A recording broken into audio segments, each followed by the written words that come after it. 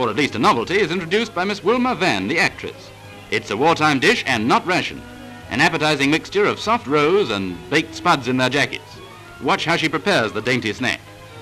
A little salt on the roes, and a little milk. You'd be surprised what fast friends are roes and milk.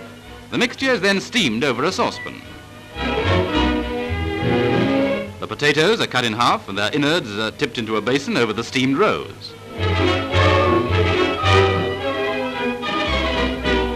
Now more milk. If you like puddings very milky, you'll be very generous with the milk. And then a little butter, uh, um, marge. Stir well and fill the jacket with the mixture.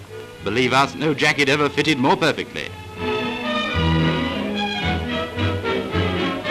Right, the last thing but one to do now is to hot 'em up in the oven, so in they go.